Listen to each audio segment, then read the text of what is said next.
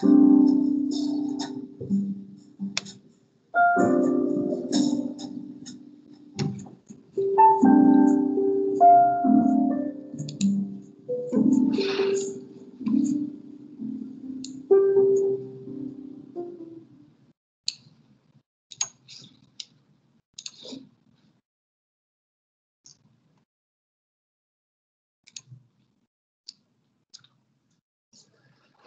Sådär allihopa. Eh, hjärtligt välkomna till denna ekofrukost som idag kommer genomföras här digitalt via Teams. Några av er har säkert varit med på våra ekofrukostar på kontoret förut och några av er deltar här för första gången. Jätteroligt att ni ville vara med oss här idag i vilket fall. Eh, vi kommer att eh, spela in dagens föreläsning och vi kommer att ordna så att det skickas en länk i efterhand till er där hela presentationen går att se igen om man så vill.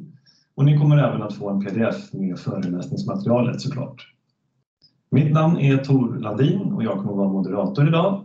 Så jag finns med hela vägen genom dagens föreläsning. Och idag kommer vi att få lära oss lite mer om nutidens och framtidens ökade risker och hot i form av naturolyckor. Såsom till exempel översvämningar. Bengt Ahlgren har sedan ett par år tillbaka ett antal renodlade riskkonsulter som arbetar med just säkerhet och riskhantering inom lite olika sektorer. Men idag kommer vi fokusera mest på fastigheter och samhällsbyggnad.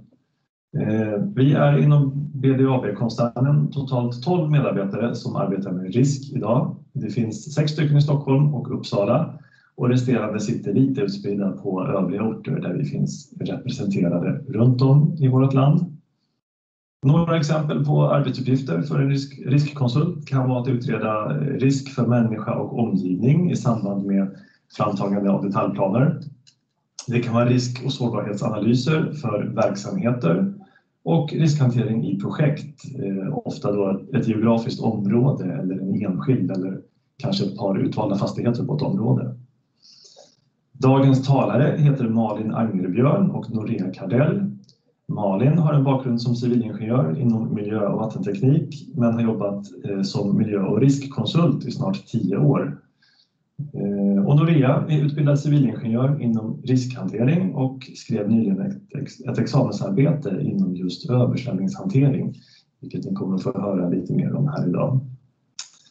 Upplägget för presentationen är som vanligt att vi har bokat en timme ungefär, men vi tror att det räcker med kanske tre kvart. Så har vi tid för lite frågor på slutet om så behövs. Vi ber alla stänga av mikrofonerna och videokameran, vilket jag ser att alla börjar bli väldigt duktiga och disciplinerade på vid det här laget. Eh, Har ni frågor så går det bra att ställa i chatten löpande och efter presentationen så kommer vi gå igenom de frågorna som eventuellt har inkommit och Malin och Norea kommer att besvara dem en i taget. Eh, och några av er hade skickat med en fråga när vi gjorde anmälan, vilket också går jättebra. Och de frågorna kommer vi ta upp på slutet också. Då får alla luta sig tillbaka och så vill jag med varm hand överlämna till Malin och Norea. Varsågoda.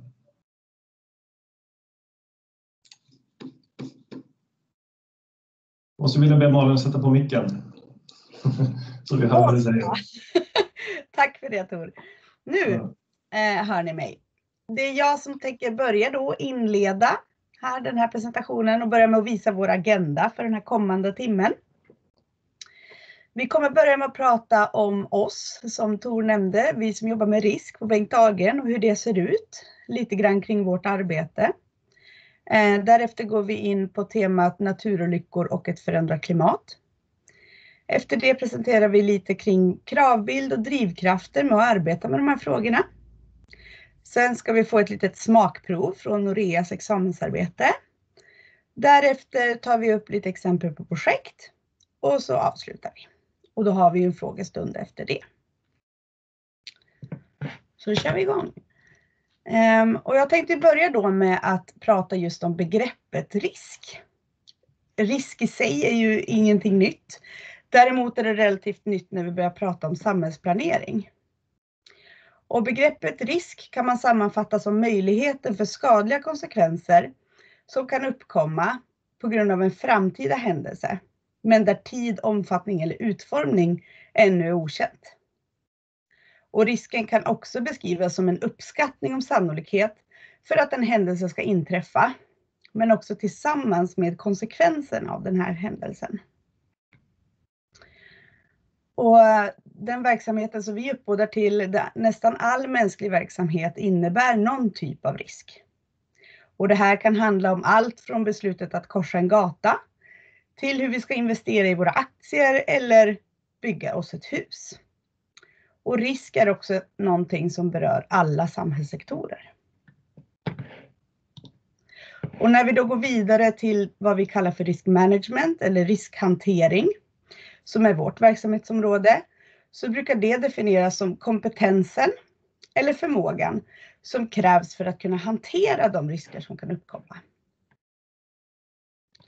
Här brukar vi prata om resan från magkänsla till struktur. Och riskmanagement är någonting som blir högst aktuellt i vårt numera urbaniserade, teknikdrivna och klimathotade värld. Den värld som vi lever i eh, ger också en anledning till att kunna förutse, förebygga men också stå emot och hantera de risker och kriser som är och kan bli aktuella. Inom riskhantering så jobbar vi fort, eh, ofta utifrån riskhanteringsprocessen. Och den innebär att vi börjar med att identifiera våra risker. Därefter analyserar och värderar vi de här riskerna. Och ofta slutligen så tar vi fram det vi kallar för rekommenderade riskreducerande åtgärder. Och de här åtgärderna har som syfte att uppnå reducerade risknivåer. Och här handlar det alltså om att jobba med risker innan de inträffar för att kunna vara mer motståndskraftiga. Eller helt enkelt minimera risken att de inträffar. Vi brukar prata om att reducera ner de här risknivåerna till acceptabla risknivåer. Och vad som är acceptabelt, det ställs ofta i korrelation mot en åtgärds kostnad, omfattning eller effektivitet. Och det här arbetssättet, det är något som vi använder oavsett om vi pratar om projektrisker, industriella risker, miljörisker eller säkerhetsrisker. Det är ett väldigt vid, vidtaget arbetssätt helt enkelt.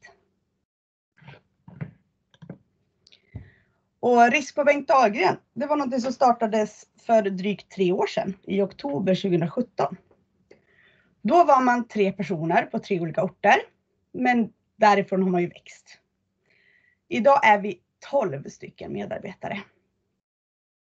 Och den här bilden är tyvärr lite gammal.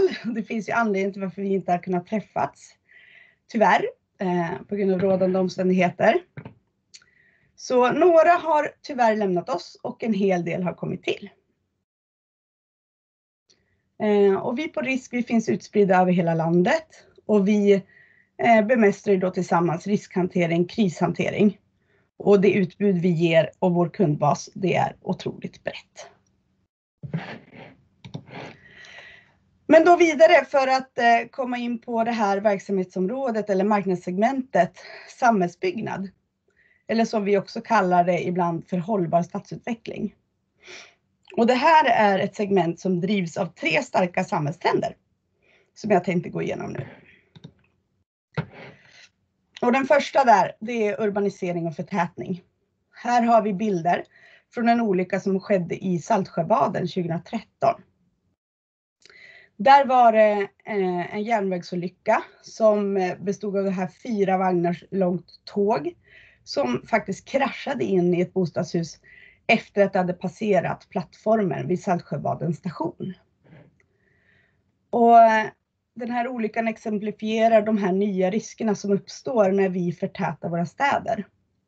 Den enkla marken där vi har en utspridd planering, den är redan bebyggd. Och nu är det riskutsatta platser som finns kvar genom att vi förtätar våra, våra städer. Och den andra samhällstrenden, det är den förändrade hotbilden som vi ser som kommer både utifrån och inifrån. Och här har vi det hemska exemplet då från 2017 på Drottninggatan. Vi lever i en föränderlig värld med nya hotbilder och det kräver för att vi planerar och utreder de risker som uppstår. Och här vill ju vi på risk då jobba för att utesluta att sådana här saker händer igen. Och för att komma in på vårt ämne idag så den sista samhällstrenden det är klimatförändringar och hårdgjorda ytor. Eh, översvämningar inom våra tätbebyggda städer, det är någonting som vi tyvärr har flera exempel att visa på. Här ser vi bilder då från 2014 i centrala Stockholm. Fler och intensivare skyfall tillsammans med täta städer med en stor andel hårdgjorda ytor ger oss en mer sårbar infrastruktur. Och det här är någonting som Norea ska prata mer om nu när hennes del kommer. Precis. Jag tänkte ta oss igenom avsnittet som handlar mer specifikt om naturolyckor och ett förändrat klimat. Och som det nog inte undgått någon så är klimatfrågan väldigt aktuell och klimatförändringarna de påverkar oss idag globalt inom samhällets alla olika delar.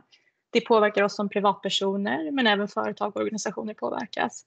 Och det här innebär ju också nya utmaningar vid samhällsplanering. Och vi kan se bland annat att vi kommer få globalt stigande havsnivåer. Enligt FNs klimatpanel IPCC så höjs havsytan för närvarande cirka 3,2 millimeter per år.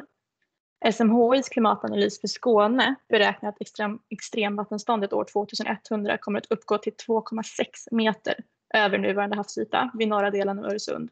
Och det här är en höjning med cirka en meter jämfört med nutida extremvattenstånd, så det är rätt mycket. Vidare så förväntas vi i Sverige i stora delar av landet få ökade nederbördsmängder. Och dessutom så kommer vi få förändrade tidpunkter för snösmältning och det här kommer göra att flöden och vattennivåer i vattendrag och sjöar troligtvis följer andra mönster än vad vi hittills är vana vid. Och utöver det här att volymen förväntas öka av nederbörden så förväntar vi oss också att eh, frekvensen kommer att öka kraftigt framöver i huvuddelen av landet av kraftiga skyfall då helt enkelt. Och här har vi redan nu tydliga exempel på när vårt samhällsbyggande inte är rustat för att hantera stora mängder vatten inom kort tid. Eh, Malin pratade om Stockholm, men vi ser också Malmö 2014 och Uppsala 2018 här där flera av Uppsalas invånare kunde bada under tunneln vid tågstationen. Vi kan också se att vi kommer få framtida förväntade längre perioder av torka och då kommer vi få lägre markfuktighet, vilket eh, på sina ställen då alltså, som kommer ge lägre grundvattennivåer och då kan bidra till minskad markstabilitet och också ökade risker för naturolyckor. Att klimatförändringen är ett globalt hot det har tydliggjorts i och med FNs 17 mål i Agenda 2030 där vi globalt antagit oss utmaningen att lösa klimatkrisen till just år 2030.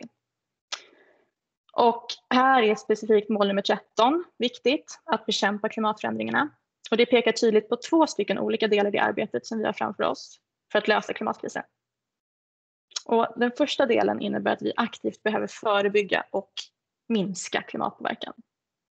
Och exempel på minskning av klimatpåverkan inom samhällsbyggnad det kan till exempel vara smarta materialval vid byggnationer, eh, men också förändrade transportmönster för företag och leverantörer eller andra förändringar som innebär liksom en aktiv minskning till påverkan på klimatet. Och den andra delen av mål nummer 13 handlar istället om klimatanpassning. Och det här innebär att vi faktiskt redan sedan flera år tillbaka nådde en punkt där vi påverkar kraftigt, påverkas kraftigt av klimatförändringarna globalt. Och det betyder också att vi globalt behöver stärka motståndskraften och förmågan till anpassning för klimatrelaterade förändringar och naturolyckor. Då. Så vid en planerad byggnation så kan det då handla om att man ska se över lokaliseringen, man ska se över byggnadens utformning Eh, utifrån ett perspektiv kring ett förändrat klimat. Och för företag och leverantörer kan det handla om att till exempel ta hjälp av kontinuitetsplanering för att säkerställa att verksamheten kan fortsätta att fungera även i händelse av en naturolycka. Så man inte påverkas för kraftigt av det. Ja, vad ingår i det här begreppet naturolyckor kan man ju fråga sig. Jo, det är en risk för inträffande av olyckor som är naturligt förekommande. Och inom begreppet naturolyckor så finns det en rad olika olyckstyper men exempel som är mest aktuella för Sverige kan ni se här. Inträffande av stormar och oväder, raskred och erosion, översvämningar och gräs och skogsbränder. Och just riskhantering gällande naturolyckor handlar om att identifiera, analysera, förebygga och sedan mildra effekterna av olyckorna.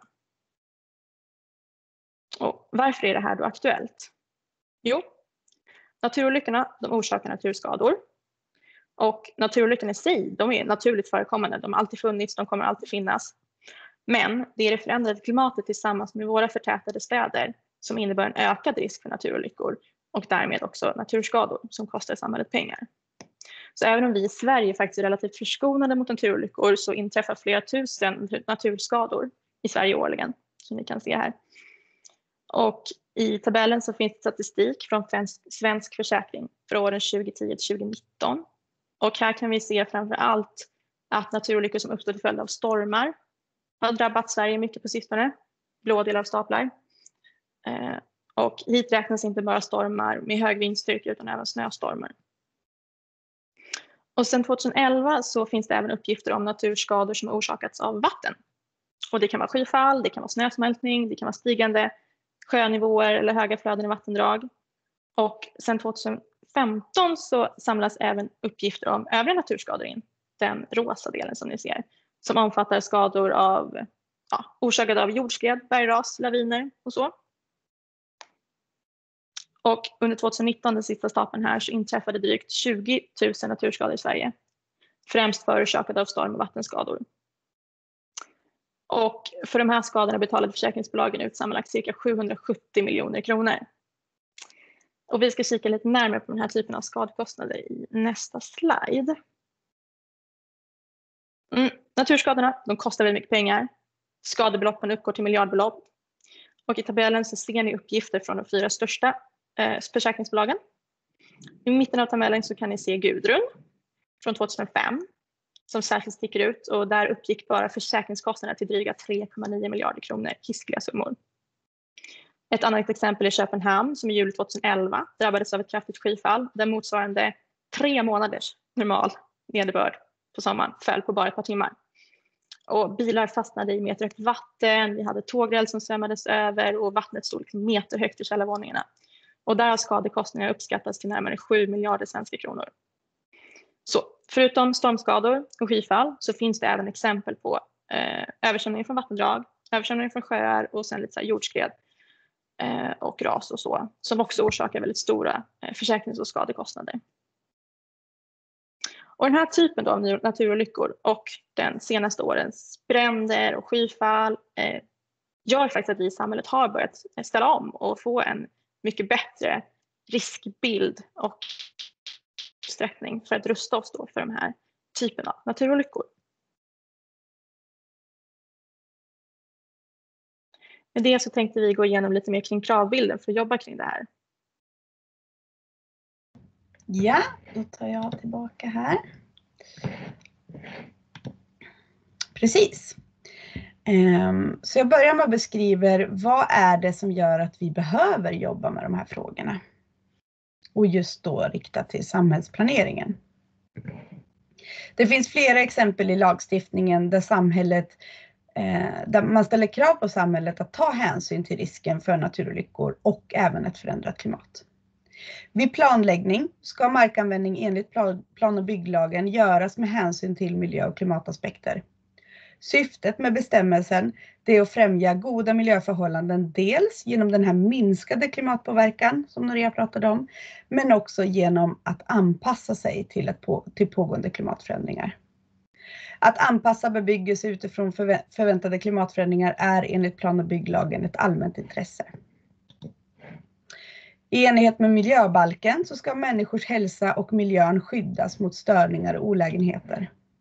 Och även i lag, lagen om skydd mot olyckor ska människors hälsa, liv, eh, egendom och miljö skyddas. Och vid sidan av de här eh, kraven då så finns det en rad drivkrafter som ger ett stort intresse och också ett behov av att arbeta med de här naturolyckorna.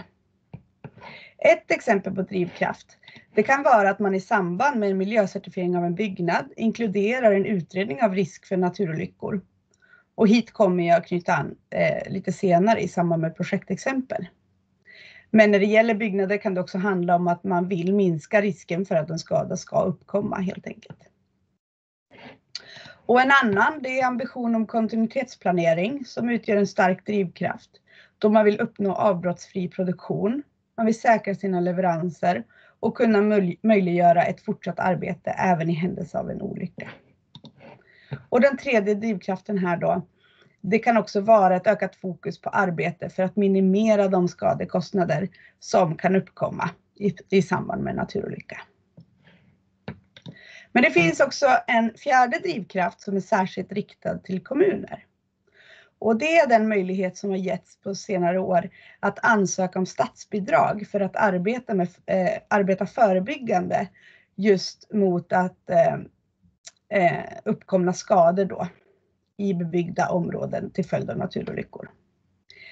Eh, genom det här stödet så kan man få bidrag på upp till 60% av en åtgärdskostnad och man har sett ett stort söktryck. Det är många kommuner som söker statsbidrag för att arbeta just med förebyggande åtgärder.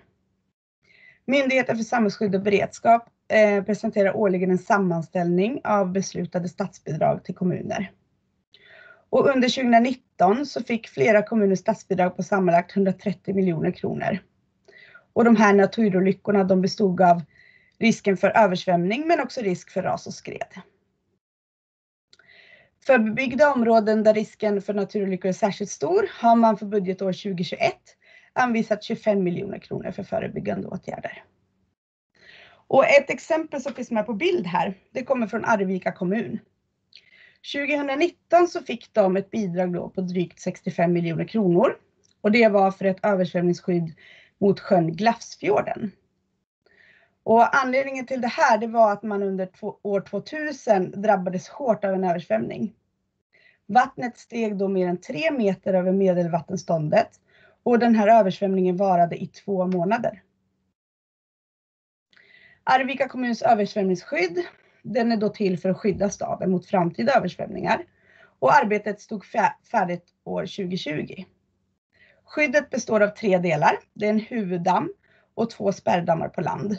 Och det här skyddet aktiverades första gången i december 2020 och var då i bruk under drygt två veckor. Mm, det var lite om kravbild och drivkrafter. Nu lämnar jag över till Norea igen. Tack! Med det så ska vi fördjupa oss lite här med översvämningar och kommuner.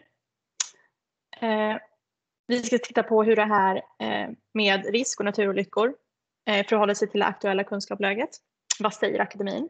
Som Tor nämnde så är jag rätt nyexad och jag eh, skrev mitt examensarbete vid Lunds tekniska högskola eh, kring att undersöka hur kommuner kan jobba just effektivare med översvämningsrisker i sin samhällsplanering. Och som ni såg i en tidigare slide här i presentationen så är det flera områden i Sverige som har drabbats av väldigt kostsamma översvämningar de senaste årtiondena. Och med klimatförändringarna blir situationen ju bara mer och mer trängande med det i bakhuvudet så valde jag och min exorpspartner att göra en fallstudie på tre stycken skånska kommuner som ni ser här. Lund, Lomma och Staffanstorp. Och de tre kommunerna delar samma avrinningsområde vilket lite förenklat kan beskrivas som att de har samma vattendrag. Höje å som ni kan se där går genom hela. Och vi utgick från vad som kan tyckas vara en rätt enkel grundtes. Vi tittade på hur vattnet faktiskt rinner. Alltså att man måste ha ett perspektiv för hur ett område uppströms också påverkar ett område nedströms. Men vidare också hur det påverkas inom sitt eget område, hur vattnet rinner. Och det är nämligen så att hydrologiska gränser, de följer väldigt sällan de administrativa gränserna som vi människor har satt upp. Därför det här perspektivet behövs. Och det är också här problem kan uppstå. Så det här perspektivet tog vi med oss när vi genomförde diverse intervjuer. Vi kollade på översiktsplaner och vattenplaner och detaljplaner. Och med det så kunde vi pinpointa fyra stycken väldigt centrala teman för hur ett proaktivt arbete med översvämningsrisker och hydrologisk hänsyn också kan ta sig uttryck. De ser ni här. Det är samordning, intresseavvägningar, planinstrument och strategier och jag ska förklara dem lite närmre nu de kommande minuterna. Vi börjar med samordningen högst upp. Vi såg att en god samordning inom och mellan aktörer var väldigt viktig. Eh, det behövs mellan fastighetsägare, det behövs mellan andra kommuner, det behövs internt mellan kommunens förvaltningar och det här är för att man aldrig ska tappa frågan och man ska också kunna dela med sig av kunskap för att slippa mer jobb. Och det bästa är såklart om det finns etablerade organ för att ta hand om den här samordningen och samverkan så att folk kan engagera sig aktivt i dem och att man, som jag sa tidigare, liksom inte behöver återuppta arbetet för varje enskild fråga utan att man har lätta och snabba kommunikationsvägar, då blir det väldigt mycket bättre. Nästa då, intresseavvägningar. Man behöver utarbetade strukturer för att väga intressen mot varandra. Och alla vet nog att det kan förekomma en hel del intressekonflikter vid exploatering. Eh, så vi såg det här stora behovet av vägledning kring hur man faktiskt bestämmer kring markanvändningen och fördelningen av ekonomiska medel, för de här hänger väldigt tätt ihop. Och det här är för att man inte ska riskera att fastna i att välja lösningar som kanske är enklare och billigare på kort sikt när det i själva verket kommer bli både dyrare och sämre på lång sikt. Och här är ju verkligen eh, fastigheter, alltså bebyggelse, eh, en stor del. Bygger du någonstans där du kommer få allvarliga översvämningar så har du ju sannolikt en stor kostnad som väntar. Allting eh, svämmar över. Det tredje temat då, kring planinstrument. Eh, och för att bland annat hantera då de här intresseavvägningarna så behöver översvämningsfrågan eh, specificeras och hanteras i gällande planinstrument och reglerande dokument. Och det här gäller inte bara kommuner, men det var kommuner vi studerade. Och eh, här krävs att resurser och kompetenser läggs på att ta fram bra material och underlag, underlag och, och då lägger man liksom det här underlaget eh, i, i översiktsplaner och vattenplaner och sen så kan man förfina det på detaljplanenivå och i åtgärdsplaner. Den fjärde och sista då, strategier, den sammanfattar lite kan man säga de tre övriga, de leder ihop. Eh, och eh, man ska få alltså övergripande men ändå handfasta strategier i slutändan för en eh, riskmedveten samhällsplanering. Och där kunde vi se att det som ger störst genomslagskraft rent strategimässigt det är att man i ett väldigt tidigt och översiktligt skede reserverar mark som antingen då behövs för dagvatten och skyfällshantering inom kommunens område eller som bara är rent olämplig att exploatera. Eh, så att man inte riskerar att hamna i detaljplaneläge och inse att det här är världens lågpunkt. Vi kommer aldrig kunna exploatera det här. Ehm, och lokal hantering, fördröjning, multifunktionella ytor, det var också lite andra exempel på strategier som vi såg var, var framgångsrika. Och framförallt i täta städer där varje lösning räknas. Så tillsammans utgör de här temana eh, att man kan gå liksom från utredningar som sker detaljplan för detaljplan till att involvera frågan i ett mycket större hydrologiskt perspektiv eh, och inte bara se då till det administrativa. Vi såg att även om medvetenheten och viljan bland tjänstemän många gånger var väldigt hög eh, så saknas det ofta just de här tidresurserna som vi pratade om förut. Och det här blev extra tydligt när det kom just till avsaknad av underlag. Skyfallskarteringar, översvämningskarteringar och, och, liknande, det är A och O för att man ska ha något att utgå ifrån i sitt arbete. Då är liksom 90 procent av arbetet gjort. Men för att man verkligen ska få ut hela värdet behövs de här sista 10 procenten. Någon typ av åtgärdsplan och strategier så att utredningarna inte bara blir liggande. Så även om det bara är lite arbete kvar så behövs det göras för att man verkligen ska få full genomslagskraft och tillämpa eh, åtgärder i den fysiska miljön. Så det bästa som jag sa det är såklart att utreda frågan på en översiktlig nivå först och sen skapa gemensamma strategier aktörer emellan så det inte blir en massa krångel när man faktiskt ska implementera. Eh, men det gör ju nytta ner på detaljplanenivå och byggnadsnivå också så att man går igenom hela eh, stadierna. Så det är både billigare och säkrare att göra rätt från början. Och Malin ska faktiskt presentera ett par exempel nu, ett par utvalda projektexempel där man arbetat då från allt från regional skala ner på byggnadsnivå. Precis, så då eh, tar jag oss igenom några projektexempel då. Och vårt första projektexempel det gjorde vi för Täby kommun. Arbetet genomfördes hösten 2019 och en bit in i 2020. Och här tog man då fram eh, genom arbetet med översiktsplanen eh, så fick vi det här, det här uppdraget då. Och det genomförde Bengt Dagen tillsammans med DHI som ett samarbetsprojekt. DHI tog fram en övergripande skifastkartering för kommunen eh, och Bengt Dagen bedömde riskerna av vattnets påverkan på samhällsfunktioner. Och tillsammans arbetade man fram åtgärder. Uppdraget hade alltså fokus på den naturolycka som vi kopplar till risken för översvämning i samband med kraftiga skyfall.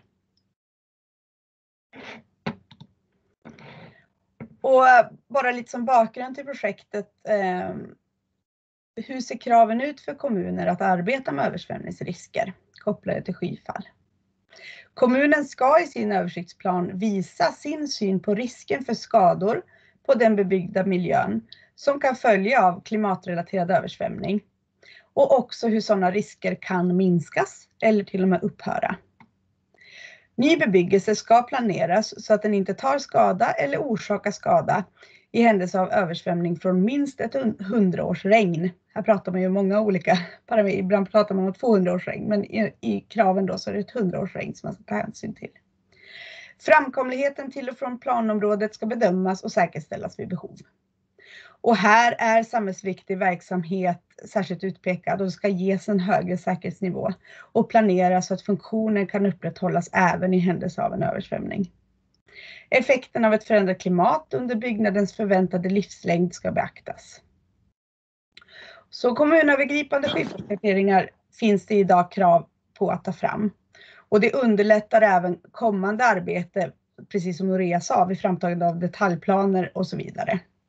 Och det är också en förutsättning för att kunna hantera översvämningsrisker på ett eh, rationellt sätt och på ett övergripande nivå. Och det här är utmaningar som man inte alltid kan hantera detaljplan för detaljplan.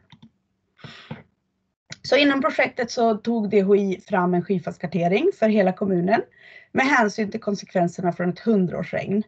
Men också kopplat till aktuell havsnivåhöjning och risker kopplade till skred med hänsyn då till aktuell aktuell marklutning och strandnära områden. Och utifrån den här skyfallsanalysen så kunde man identifiera ett antal intresseområden som bedömdes vara särskilt utsatta eller kritiska.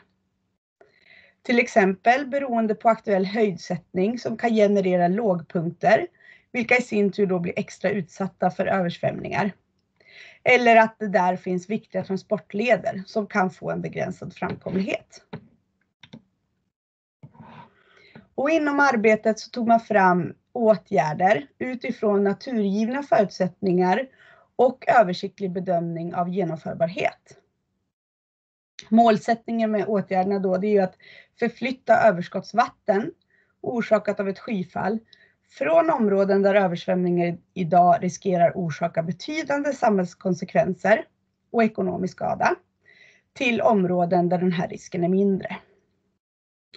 Och till vänster i bild ser vi ett resultat av eh, vattenansamlingar och också flödesvägar eh, som man tittar på här. Eh, och till höger i bild så ser vi exempel på typåtgärder som jag tänkte ta oss igenom. Om vi tittar på den översta bilden som då visar på en skyfallsled så syftar den till att leda vatten vidare nedström på ett säkert sätt. Man avgränsar liksom området där vi får större ökade vattenmängder. Bild nummer två, den visar på en skyfallsyta. Och här använder man helt enkelt vissa ytor för att magasinera vatten som kommer i händelse av det här skyfallet då. Eh, och därmed avleder från mer sårbara eh, ställen. Och den tredje bilden, det är en styrning som ett komplement för att förstärka de övriga. Och den sista bilden längst ner, det är ett objektsskydd. Här vill man särskilt skydda en enskild verksamhet eller byggnad och då tillåter egentligen översvämning på andra ställen. Um, åtgärdsarbetet inkluderade ju också um, beredskapsfrågor och hur man skulle kunna säkerställa då vissa funktioner. Och här eh, så identifierades de här samhällsviktiga funktionerna och också viktiga transportvägar som var särskilt viktiga att säkra. Och i och med det så tog man fram beredskapsplaner men också informationsåtgärder. Och det var egentligen det projektet som var på en mer eh, övergripande nivå. Och vi inom RISK, vi jobbar också väldigt ofta inom eh, Äh, detaljprojektering. Vi, får, vi jobbar med riskhantering i detaljplaner, men också inom vägplaner. Och även här är det ju viktigt att framtidssäkra vår infrastruktur och vår nya bebyggelse med avseende på nutida och framtida klimat. Vi inom RISK arbetar för att ge en samlad bedömning med avseende på de olyckor som kan inträffa. Ett exempel eh, var en detaljplan som vi nu på sistone här har levererat till Uppsala kommun. Eh, och här fick vi uppdraget i och med att man ville ta fram, man utreder för ny spårväg egentligen genom Uppsala och till nya bebyggda områden. Och det arbete vi gör där, det är ett underlag för den miljökonsekvensbeskrivning som tas fram. Och där utreder vi aktuella risker med avseende på personskador inom spårvägen, men också med risk för personskador utanför spårområdet som kan uppkomma i samband med den här planerade byggnationen. Och i det här projektet för Uppsala kommun så utgick riskutredningen med avseende på skyddsvärde människa. Vi kollade också på naturmiljön och samhällsviktig verksamhet. Ehm, och här så ser vi ju ett behov av att också inkludera naturolyckor och att tänka på de här riskerna som till exempel en översvämning eller andra naturolyckor kan bidra till även på detaljplanenivå då.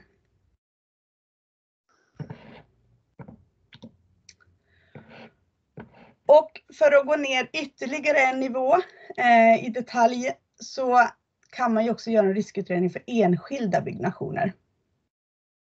Här har vi gjort flertalet projekt eh, där vi har gjort riskutredningar för såväl nybyggnation som befintlig bebyggelse. Och de här uppdragen har eh, allt som oftast haft en bakgrund i att beställaren då gör en miljöcertifiering eh, inom certifieringsorganet BREEAM och det finns ju jättehög expertis inom BREEAM eh, i Bengt Dahlgren så jag ska inte gå in på detalj på det. Eh, men BREEAM är ett frivilligt miljöcertifieringssystem som kommer från Storbritannien från början och har funnits ända sedan 90-talet. Och det är idag internationellt och väldigt spritt och används särskilt för miljöcertifiering i Europa. BREEAM har använts för över 500 000 byggnader runt om i världen. Och för Sverige då så har Sweden Green Building Council, en med, medlemsorganisation för hållbart samhällsbyggande, anpassat BREAM till svenska förhållanden och ansvarar för att Bream SC då som man har tagit fram en manual för möjliggör för att certifiera i enlighet med svenska regler och standarder. Och BREEAM används för att certifiera byggnader och byggnaders miljöprestanda bedöms inom ett antal olika områden. Till exempel så bedöms och poängsätts byggnadens energianvändning, inomhusklimat, vattenhushållning och avfallshantering. Och inom ramen för den här miljöcertifieringen så eh, kan man ju då välja att även beskriva och bedöma risken för naturolyckors potentiella påverkan på fastigheten. Och den här riskutredningen görs med fokus på byggnadens resiliens och robusthet med avseende på de naturolyckor som bedöms aktuella för respektive byggnad. Och ett projektexempel här, det var eh, något som vi genomförde förra året. Och där var det att man i samband med byggnationen av kvarteret Skålen ville, gjorde en miljöcertifiering enligt BREEAM då. Och kvarteret Skålen, det ligger inom området Hagastaden som är ett område som står inför stor exploateringen. Den här byggnaden skulle rustas upp eh, men också få en påbyggnation om tre våningar. Entrévåningen och påbyggnationen skulle få glasade fasader. Och den här byggnaden används idag som kontor men har också våningar under mark som man fortsättningsvis då har tänkt använda till parkering. Och den aktuella riskutredningen som vi gjorde här avseende naturolyckor. Eh, I den ingick det då att bedöma risken för olyckorna för den här aktuella byggnaden. Eh, vi identifierade och utvärderade den påverkan som ett nuvarande klimat men också extrema väderförhållanden kan utgöra på den här planerade byggnationen. Och fokuset igen då, det var ju på resiliens hos byggnadens stomme och klimatskal. I andra system kan man ju titta på de personer som kommer att vistas i byggnaden och risken för dem. Men just inom det här projektet så kollar vi på hur motståndskraftig byggnaden är för aktuella eh, naturolyckor. Och inom det här projektet så kollade vi på risken för översvämning. Och utöver risken då för ytvattenbildning i samband med skyfall så kollar vi också på risken för vattennivåhöjning av eh, omkringliggande vattendrag. Även risken för grundvattennivåhöjning som ju i, en, i risken av en höjning då kan innebära att vatten tränger in i byggnaden. Det finns ju också den andra aspekten att grundvattennivåsänkning som därmed kan ge en ökad risk för ras och skred eller minskad stabilitet i grunden. Vi kollade också när det gäller översvämning då risken för intilliggande reservoarer och kanaler som kan orsaka en översvämning och inträngande spillvatten. Och förutom översvämning då så inkluderas också risken för ras och skred och erosion. Starkt kopplat till markens stabilitet. Eh, och också risken för starka vindstyrkor. Och de här riskerna identifierades och analyserades. Och efter det så kan man tillgodoräkna sig då ett visst antal poäng i det här certifieringssystemet. Och för den aktuella byggnaden så bedömdes risknivåerna som låga eh, vi kan se på bilden här, det är ju, representerar ju risken för ett skyfall då i närområdet. Eh, men man lämnade också rekommendationer om att se över några riskreducerande åtgärder. Eh, även om riskerna bedöms låga så fanns det en viss, viss förhöjd eh, bild då vid de här nya entréerna och glas, glasade fasaderna att vatten eventuellt skulle kunna tränga in i byggnaden därigenom. Och då att man skulle se över höjdsättningen invid särskilt utsatta delar av fasaden till exempel. Eller risken för att vatten ansamlas under lång tid.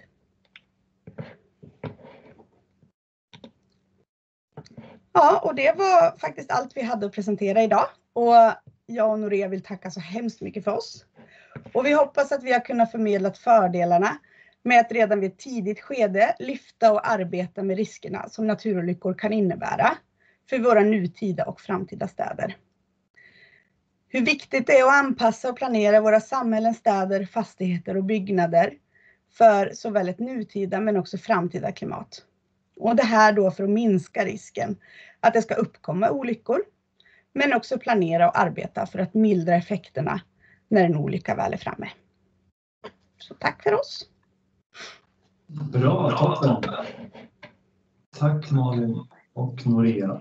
Nu ska vi se, vi hade två stycken frågor eh, som jag hade fått här på förhand.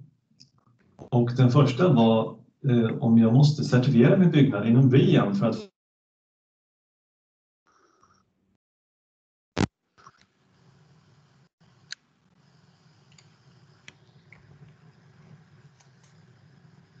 Jag hörde inte riktigt där Tor.